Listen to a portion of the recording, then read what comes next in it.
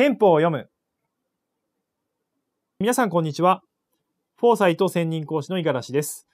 今回はですね、憲法を読む第7章の83条から87条までを扱っていきたいと思います。では早速条文に入っていきましょう。第83条。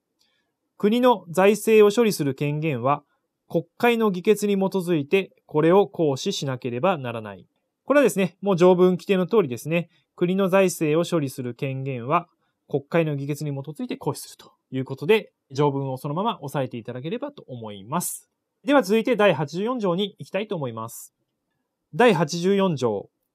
新たに租税を課し、または現行の租税を変更するには、法律または法律の定める条件によることを必要とする。84条ですね、租税法律主義について規定した条文となっております。重要な判例一つ、旭川の判例あったと思いますので、この判例がですね、実は試験でかなり出てますので、必ずですね、内容をですね、ちょっと確認してください。条文については記載の通りという形になります。では、85条参りたいと思います。第85条。国費を支出し、または国が債務を負担するには、国会の議決に基づくことを必要とする。国費を支出、それから国が債務を負担するには、まあ、国会の議決が必ず必要ということで、規定された条文となっておりますので、この点をしっかりと押さえておいてください。では続いて第86条に行きたいと思います。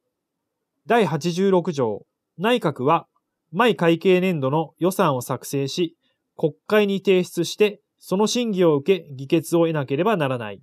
主語が内閣となっておりますので、内閣が毎会計年度の予算を作成、それから国会に提出というところで、しっかりとこの点も押さえておいていただければと思います。